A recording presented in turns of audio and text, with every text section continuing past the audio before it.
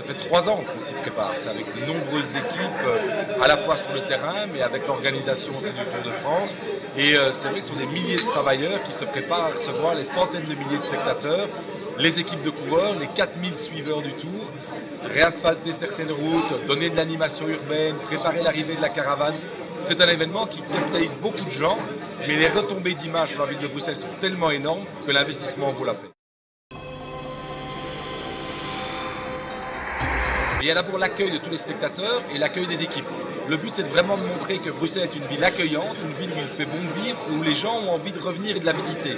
On va avoir la plus belle carte postale du monde, puisqu'on va être diffusé par plus de 196 médias. Il vaut mieux ne pas se déplacer en voiture pendant le week-end du 6 et 7 juillet, mais tous les transports en commun sont gratuits.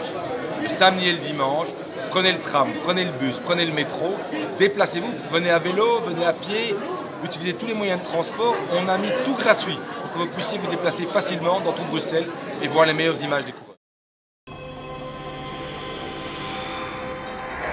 Ce jour-là, c'est les 100 ans du maillot jaune et les 50 ans de la première victoire d'Eddy Merckx dans le Tour de France. On a un grand défi, c'est que Bruxelles soit tout en jaune. Donc ce jour-là, samedi et dimanche, venez avec un foulard, une casquette, une robe, un t-shirt, que sais-je, quelque chose de jaune pour montrer que vous adhérez au projet de la ville de Bruxelles et que vous adhérez à l'ambiance du Tour de France.